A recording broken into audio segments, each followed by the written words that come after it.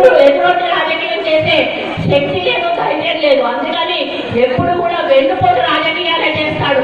ఈ రోజు రేవంత్ రెడ్డిని పట్టించింది దయాకరావు పంపించింది దయాకరావు పైసలు పట్టించింది దయాకరావు సింహం లాంటి సీఎం కావాలా? శ్రీనివాస్ సీఎం కావాలా సింహం అంటే ఒక అడవికి రాదు. రాదంటే వాళ్ళ జంతువులందరినీ కూడా మంచిగా చూసుకోవాలి. మరి సింహం జంతువులను చూసుకుంటుందా? మంచిగా? చూసుకుంటారా తింటారు రోజు చేస్తుంది ఇప్పుడు తింటారు మనకి వాళ్ళు. మన